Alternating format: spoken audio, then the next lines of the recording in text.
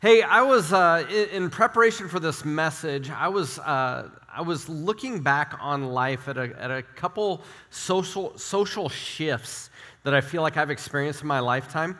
Uh, the first one is this: it's the front porch. Uh, the first home that I owned uh, with my wife uh, was built in the 40s or 50s. Had this big, elaborate front porch. Anybody remember like big front porches like that, covered? Like it's kind of designed to be a gathering space right? And uh, if you look at homes nowadays, like they would kind of look at those homes from the 40s and 50s and go, what were they thinking? Why, why all that space on the front porch? Because, like, I remember growing up that uh, there, there was some comedian that explained this, and it's 100% true, that, like, when your doorbell rang, when I was growing up and your doorbell rang, you were so excited. Like somebody was there to visit you, and you were like, man, who could it be? I like in my life, it could have been Danny across the street. Maybe Jacob rode his bike over. Uh, like I'd have these lists of people that maybe would come by and I'd get so excited. Who's here to see us? You guys know what it's like nowadays, right? Your doorbell rings and you're like this. Like, turn the light off, you know, like you're slouching, make sure the dog doesn't like bark, like, man, no one's home, no one's home. Uh, I remembered uh, the moment that I realized that our student ministry shouldn't go caroling anymore. Uh, this is the most cringeworthy moment ever. Now, I don't understand why anybody wouldn't want two school buses to pull up with middle school and high school students and like band instruments and make a racket in their front yard. Like, first of all, that was a little bit of social awareness that I should have had that maybe that's a little awkward. Uh, but there was a time and place where that would be exciting when that showed up. And I remember the moment we pulled up to this one house and uh, we stopped the buses, everybody unloaded. Like we would put together music with like, uh, like brass instruments and stuff. I thought it was a pretty cool thing. You'd have a plate of gifts.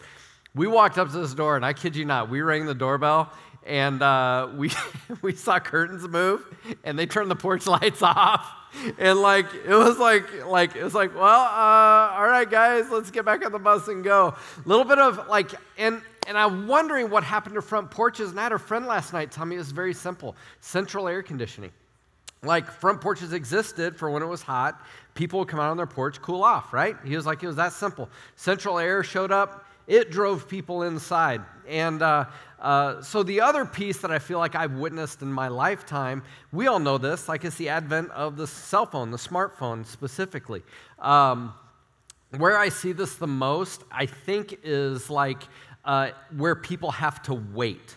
Like anywhere where adults are waiting nowadays, um, back in the day, like it kind of turned into a social environment, you know? Like if you were standing in line at the, the checkout stands, uh, you were a little distracted. You would catch up on uh, the tabloids and whatever, whatever gossip was going. You'd just sit there and stare at Snickers bars and tabloids. And then, like, you might, to the person next to you, hey, you believe what's going on there? Uh, that doesn't happen anymore. The other places, like where uh, preschoolers get picked up, like moms used to, like, swap recipes and like hold each other's babies and all of this. And like now it's like, now it's like everybody's just like this. And I'm not going to be the old guy ranting on smartphones. Hear me in this. The reason I bring these things up is the way that it's kind of driven our culture towards isolation. It's a reality that exists. Uh, more and more, we have to fight to kind of come out of our shells to engage with people. Uh, there's not as many just natural areas where human interaction happens. And I was thinking on my, on my drive to the, the church today, like how there's some people that it's probably just genuinely a laborious work to engage with people. And, and, like that has really, really changed. And it's one of the ways I, in looking at this message in these um, these labels that we wear, I realize we're in the midst of this spiritual warfare in our world. And uh, much like the way a lion would try to isolate its prey so it can surround it and destroy it, our enemy is doing the same thing. He wants to find ways to isolate us uh, to pull us away from community, to, to get you alone so that he can fight the battle on his ground. It's almost like, in a way, the way a crocodile would pull its prey into a river and get it away from the rest of the herd. And, and I was thinking about this because me growing up, when I would think about spiritual warfare, I would imagine like me setting up my G.I. Joes and tanks on this side and like my Transformers and He Man. Like they don't go together, but they do on the other side. And like I, I pictured like spiritual warfare as battle lines that are drawn, but it's not the way it is. The way that spiritual warfare works, it's more like Russian spy bots, where we're trying to manipulate your thinking. We're trying to change the way that you look at yourself, trying to change the way that you look at your relationships, trying to change the way that you see God. And, and, it's so much different than what we would imagine. And so this morning, I'm wanting to engage in that with you. And so if this is your first Sunday here, I want to say welcome. I'm hoping that you will have the opportunity to see the way that God sees you. I want you to be able to look at yourself the way that God sees you instead of the way that the world around you sees you. And that may be a brand new phenomena to you. You may be like, uh, I, I can't even wrap my head around that. I want you to give God a chance this morning. And if you're not new to church and you're like, hey, this is part of my routine, I'm hoping this might be a reminder and you might catch yourself going, you know what? I think I bought into that lie a little more than maybe I thought. And it maybe has a little bit of root that I wasn't ready for. So I just want you guys to give, whichever side of that coin that you're on, I want you to give God a shot this morning, okay? Uh, we're going to start. And so, in order to, like, if, if the enemy attacks us and his weapon is lies, that means the weapon that God will use is the voice of truth. And where we find the voice of truth is from Scripture. And so, we're going to spend a ton of time in God's Word today. So if you have the YouVersion app, if you have your old uh, analog uh, copy and you want to use that, I want to invite you to get your Bibles out because we're going to spend a lot of time in God's Word this morning. Uh, I want to start this morning with Psalm 139. And the way that I want to use this, you guys, is a little bit like a prayer. So if you want to read along on the screen, it's going to be up on the screen. If you want to close your eyes and just listen to the spoken word, I want you to feel free to do that. Uh, you need to know that the author of Psalm 139 was no stranger to spiritual warfare. Uh, the writer of Psalm 139 likely struggled with what people thought of him. He had a checkered past. He was an adulterer, a murderer, uh, you would say that his story was maybe a little, little more dirty than the next person, and so he had a bit of a past. Uh, he also knew what it was like to be rejected by friends, uh, to be betrayed by close, close, close companions, and uh, to be confused about trying to live out what God was wanting him to live in a world that was kind of against him. He was no stranger to that. So that is the author of what we're getting ready to lead, so, read. So I want you to hear these words as they're read. Lord, you have searched me and you know me. You know when I sit and when I rise, you perceive my thoughts from afar. You discern my going out and my lying down. You are familiar with all of my ways. Before a word is on my tongue, you know it completely, O Lord. You hem me in before, behind, and before. You have laid your hand upon me. Such knowledge is too wonderful for me, too lofty for me to attain. Where can I go from your spirit? Where can I flee from your presence? If I go up to the heavens, you are there. If I make my bed in the depths, you are there. If I rise on the wings of the dawn, if I settle on the far side of the sea, even there your hand will guide me. Your right hand will hold me fast. If I say, Surely the darkness will hide me and the light become night around me, even the darkness will, be not, will not be dark to you. The night will shine like the day, for darkness is as light to you. For you created my inmost being. You knit me together in my mother's womb. I praise you because I am fearfully and wonderfully made. Your works are wonderful. I know that full well. My frame was not hidden from you when I was made in the secret place. When I was woven together in the depths of the earth, your eyes saw my unformed body. All the days ordained for me were written in your book before one of them came to be. How precious to me are your thoughts, O God. How vast is the sum of them. Were I to count them, they would outnumber the grains of sand. When I awake, I am with you still the words of a man that fully understood who he was and what God thought of him and understood his identity as defined by his creator. The first thing that you need to know when it comes to how God sees you is you are known. You are completely known, Third City, by your creator. Just like David, this writer who had a checkered past, God knows your story. He sees the details of it and he's not embarrassed. He's not intimidated. He's not ashamed. Why would you be? And so, the first thing that we need to know is that we are known. We are known by God.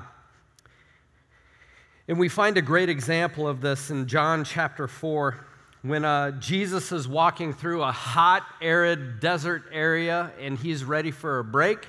It's the heat of the day. He sits down by a well and he is, a, and he is approached by a, by a woman that is coming for water. It says, uh, it says uh, right here when a Samaritan woman came to draw water, Jesus said to her, Will you give me a drink? His disciples had gone to town to buy food. The Samaritan woman said to him, You are a Jew, and I am a Samaritan woman. How can you ask me for a drink? For Jews do not associate with Samaritans. So, to set the, to set the stage, here is a woman that was struggling with being known, and we know this for a couple reasons. You don't go to draw water in the middle of the day when it's hot out. We're smarter than that. When it's 110 degrees in Nebraska, you don't schedule to do, if you can help it, you don't schedule to do your outside work at 2 or 3 o'clock in the afternoon. Am I right? You would mow your grass in the morning, or you might mow it in the evening, or you might wait two weeks till your neighbors turn you in to the, the guy that drives around in the car and says, Your grass is too long, you know? Like, we just don't do that. But she was obviously avoiding community and was wanting to not to be anonymous. She was choosing isolation because of her story.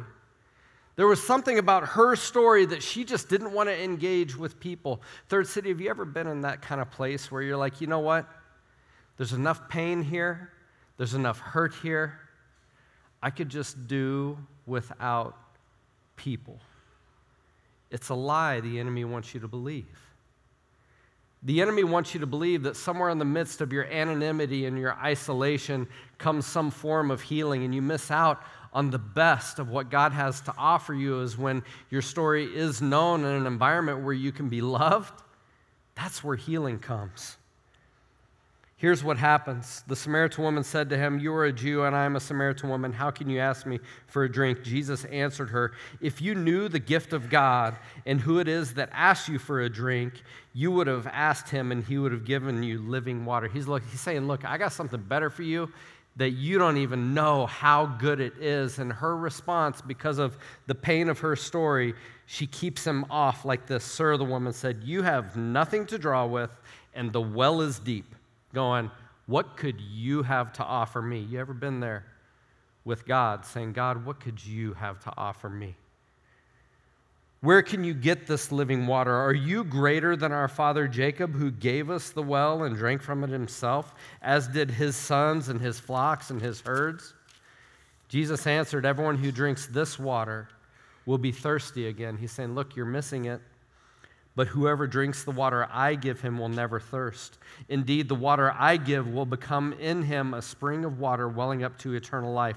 The woman's interest gets piqued right here. She goes, Sir, give me this water so that I won't get thirsty and have to keep coming here to draw water, saying, what, You might have something to offer me. He told her, Go call your husband and come back. I have no husband, she, she replied. Jesus said to her, You are right when you say that you have no husband. The fact is, you have had five husbands, and the man you now have is not your husband. What you have said is quite true. All of a sudden, in a blink, her story is made known to the God of the universe. I can't imagine how, in that moment, how she would realize that she has been exposed. It's like, my story is now known. And she's looking at this man, going, It's obvious that there's something more to you. What are you going to do with the information now that you have it? You guys ever been in that situation where someone learns a piece of your story and you kind of go, Okay, so what are you going to do with that? Sir, the woman said, I can see that you are a prophet. Our fathers worshiped on this mountain, but you Jews claim that the place where we must worship is in Jerusalem. Jesus declared, Believe me, woman, a time is coming when you will worship the Father neither on this mountain nor in Jerusalem. Your Samar- you Samaritans worship what you do not know. We worship what we do know, For salvation is from the Jews, yet a time is coming and has now come when true worshipers will worship the Father in spirit and in truth. For they are the kind of worshipers that the Father seeks. God, excuse me, God is spirit, and his worshipers must worship in spirit and in truth. So, in this moment where she wonders if she's going to face rejection, Jesus offers her acceptance. The woman said, I know that Messiah that you're talking about. She said, I know that Messiah called Christ. I know he's coming. When he comes, he will explain everything to us.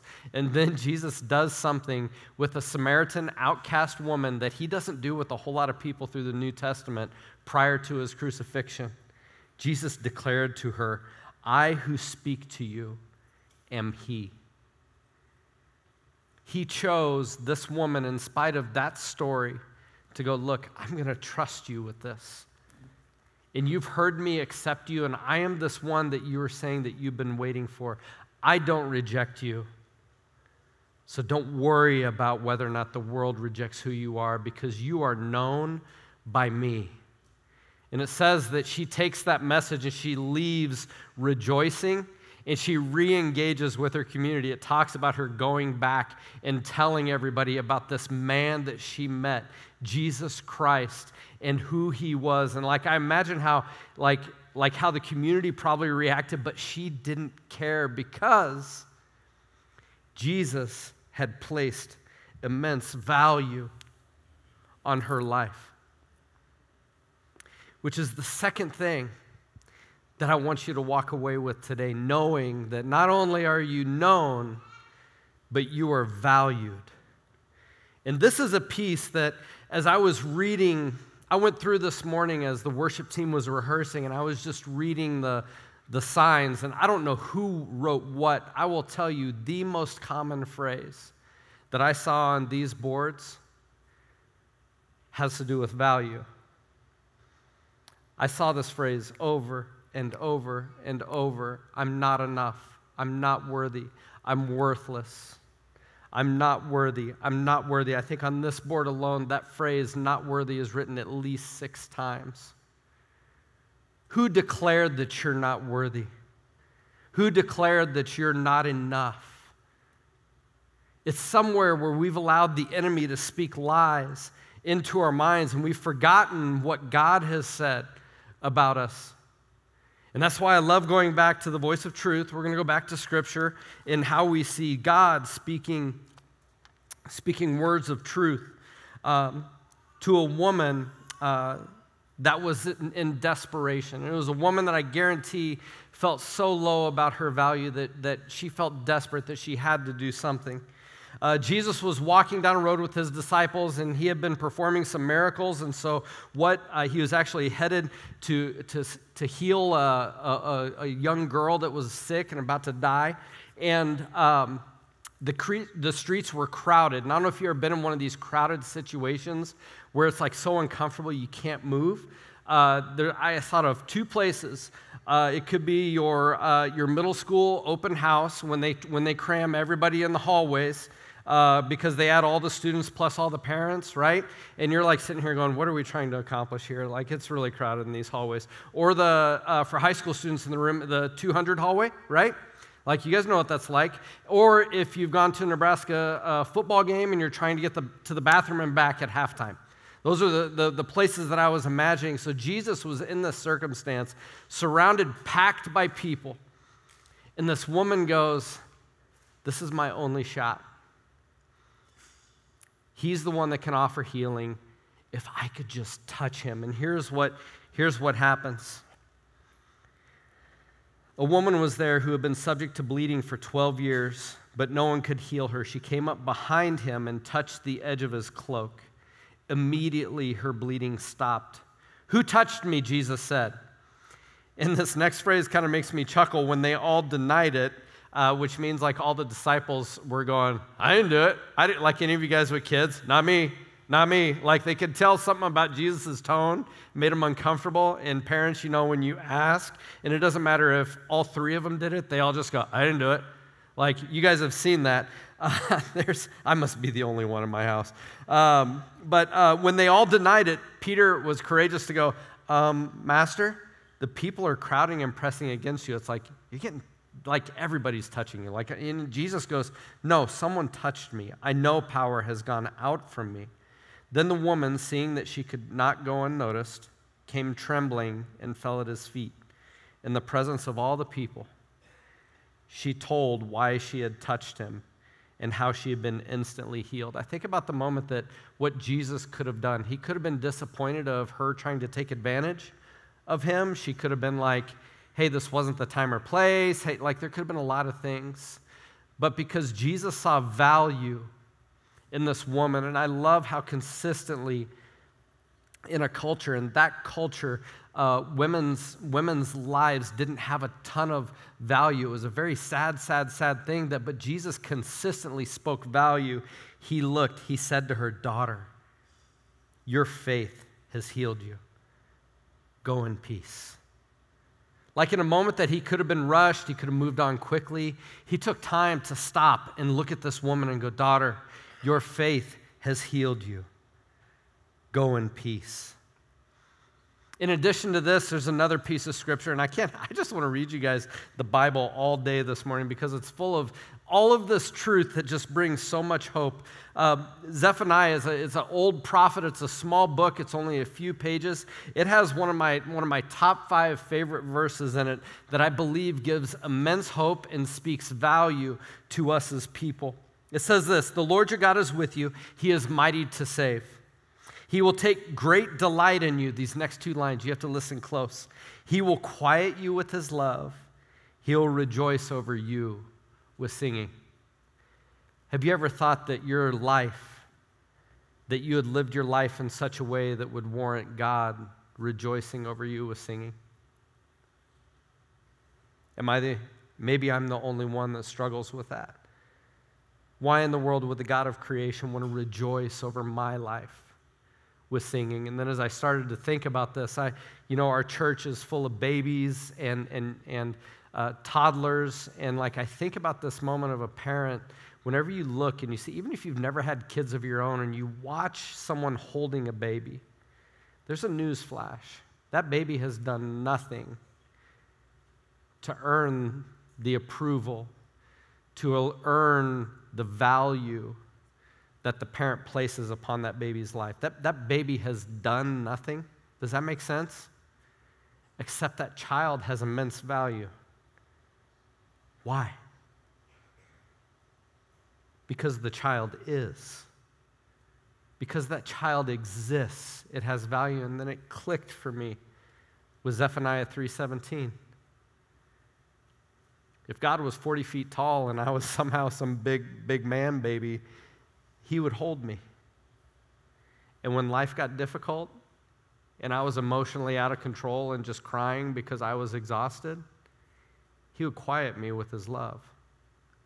Shh, it's okay. He would rejoice over me with singing, not because of anything I've done. I'll be completely honest with you. But simply because I am His is why he rejoices. And that's hard for us to accept as people, which leads into our last thing that you need to take home today. Third city, you are deeply, passionately loved. And I don't mean that you're loved in a bachelor, bachelorette kind of way. You're not loved in, a, in an Instagram way. You're not loved in a, you're not loved in a in a, in a restaurant with roses and wine and whatever else you would add to that scenario, you are loved in the purest form of love that has ever existed. You are loved in the most sacrificial way. That is the most romantic. It is the most beautiful and is the most pure form of what love is. And our culture has just so distorted it. Love is sacrifice. In Luke chapter 23, we find Jesus demonstrating the full extent of his love. He had been beaten with whips, uh, been stripped of his clothes, been nailed to a wooden beam and placed at eye height so that he could be mocked, he could be spit upon, he could be lied about, he, insults could be curled, hurled at him. People could punch him if they want to. And he was hanging on that cross innocently, taking a punishment that I deserve, taking a punishment that you deserve. And he was crucified between two guilty criminals. And we pick up the scene right here. One of the criminals who hung there hurled insults at Jesus, said, Aren't you the Christ? Save yourself and save us. But the other criminal rebuked him, Don't you fear God? Since you are under the same sentence, we are punished justly. We are getting what our deeds deserve, but this man has done nothing wrong. This man has done nothing wrong. Then he said to Jesus, You just picture this criminal turning and going, Jesus, remember me when you come into your kingdom. Jesus answered him, I tell you the truth. You will be with me in paradise today. And I think about that. That, that thief on the cross, he had no moment to go to church, to serve anywhere. He had done nothing to earn what Jesus had to offer because that sacrifice was pure, his love was pure, and it was offered freely. Third City, the moment that you think there's something you've got to do to earn the grace of your Lord, remember that moment because that thief on that side had done nothing to earn what Jesus was offering. And we get that, we get that mixed up so often. We think that there's something that we have to do to earn it. And I feel like as much as I get to make, have an opportunity to hold a microphone and preach the gospel in front of people, I can't help but bring myself back to Romans chapter 5 that says the same thing in a different way. Starting with verse 6, it says, You see, at just the right time, when, when we were powerless, Christ died for the ungodly. That's you and me. We're the ungodly. Very rarely anyone very rarely will anyone die for a righteous man, though for a good man, someone might possibly dare to die. But God demonstrates his own love for us in this that while we were still sinners, Christ died for us. He didn't wait for you to get it perfect. And every week, we have this moment that we call communion. And when you walk in, you see people offering you this bag with a piece of bread and this cup with some juice. It's a moment that we get to remember that Jesus knows our story, places deep value upon our souls, and offered himself as a sacrifice of the purest form of love so that we might have unity with God the Father someday. It's like vows are renewed. We remember the sacrifice. And we say, God, I, I, need you all over again. And we remember a piece of our identity. So, Third City this morning, when you are ready, I invite you to commune with God, remembering those things. So, like Dan said, last week we, um, we approached these boards and words were written like worthless, useless, monster, unworthy, addicted, loner, fake, wash up, has been, not enough, drunk, divorced. We have all these labels, and I, I picture I truly picture the Christ that was crucified stepping in, knowing the wounds that he bore for us, going, Who told you that? Because they're a liar.